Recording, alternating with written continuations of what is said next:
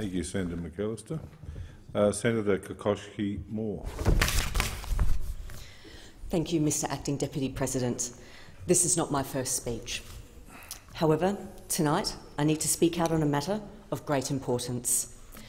I have the utmost respect and admiration for the men and women that serve and have served in our Australian Defence Force.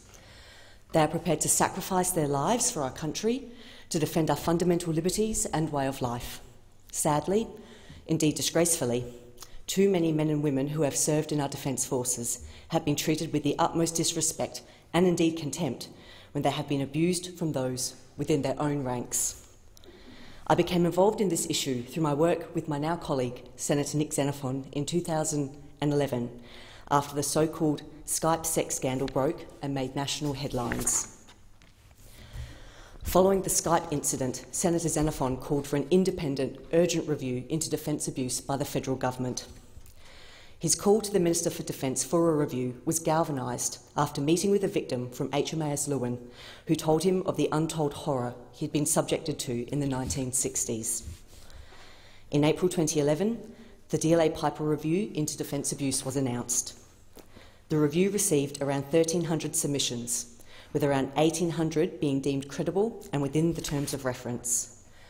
In response to this, the government established the Defence Abuse Response Task Force, known as the DART, to assess allegations of abuse made to the review before 11 April 2011. Through the courageous actions of those people who suffered abuse coming forward and telling their stories, this truth has started to be revealed. We thought, hoped, that our ADF would have somehow been immune from such predatory individuals. We hoped that these rotten apples from within Defence would be detected quickly and removed permanently from the organisation. But in far too many cases, this did not occur. In the case of HMAS Leeuwin, many who joined were mere children. From the 1950s through to the early 1980s, the Australian Defence Force failed to protect boys aged just 13, 14, 15, 16. They failed to protect them from older predators within the Australian Defence Force. These predatory members within the Navy have left a wretched legacy. However, the abuse went way beyond HMAS Leeuwin and went all the way to the Australian Defence Force Academy, known as ADFA. In November 2014, the then head of the DART, Beyond Len Roberts-Smith, recommended that the government establish a royal commission to inquire into, report and make recommendations in respect to allegations of abuse the mismanagement of reports of allegations of abuse at ADFA. The notorious ADFA 24 case was highlighted by the DLA Piper review as involving serious allegations involving 24 perpetrators at ADFA being involved in the physical, indecent and sexual assault of at least 26 female victims between 1996 and 1998.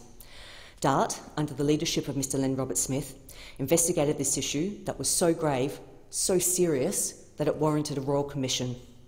However, when the final report of DART was released quietly on the afternoon of Friday, the 2nd of September, there was a baffling U turn on the part of the DART. Inexplicably, inexplicably, the new head of the DART, Robert Cornall, AO, who took over after the retirement of Mr Len Roberts-Smith, has walked away from this key recommendation for a Royal Commission, even though he was deputy to Mr Len Roberts-Smith when the recommendation was originally made. To understand why this change in position is so concerning, it is necessary to set out some of the background to the establishment of the DART, particularly the context of ADFA 24. It is very likely that for some years there have been in senior ranks of the ADF some individuals who have raped other members of the ADF and never been called to account for their actions. It is also very likely that for some years there have been senior ranks of the ADF Within those ranks, some individuals who were aware that their mates had raped other members of the ADF and did nothing to intervene to stop the abuse and who never reported what they knew. There are serious questions as to whether rapists and their silent mates are fit to be role models and drivers of cultural change within the ADF. Furthermore, victims who have managed to stay in the ADF have to serve with these men. That must be very destructive for the victims.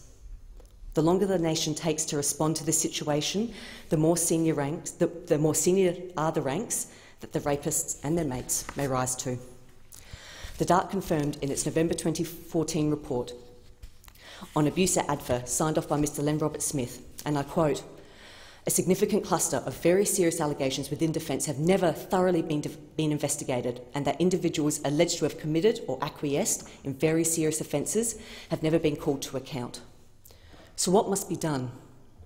An appropriately commissioned and resourced permanent defence abuse de, sorry, resourced permanent defence abuse response task force, as well as a royal commission into defence abuse.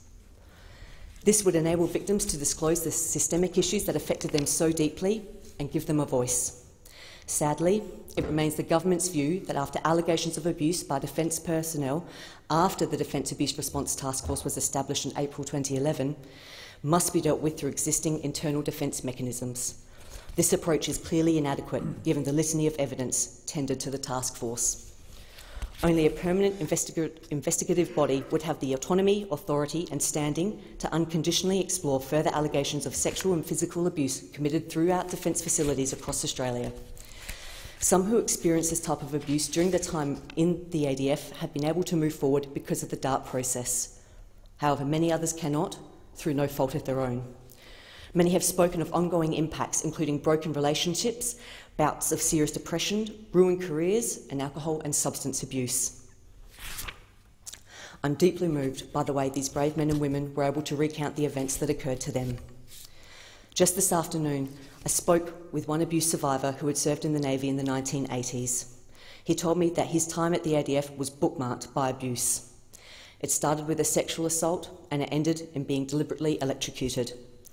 He told me it felt like he was being left to wither away he felt he couldn't stay, but he felt that he couldn't go either. 36 years later, he's had 40 different jobs. He still has trust issues with authority. This survivor was able to make a successful claim with the task force.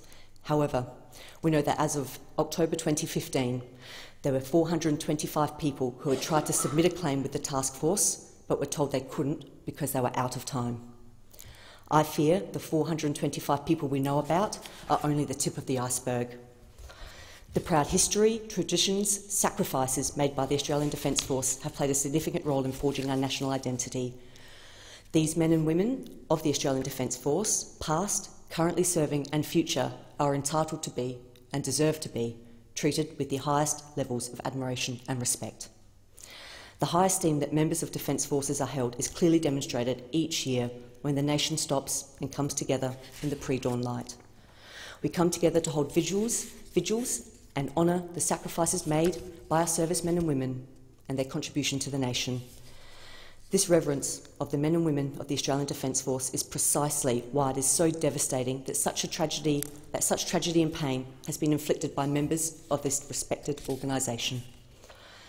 A great deal has been done over the last few years to prevent abuse occurring in the ADF, but I believe there is still much more we can do.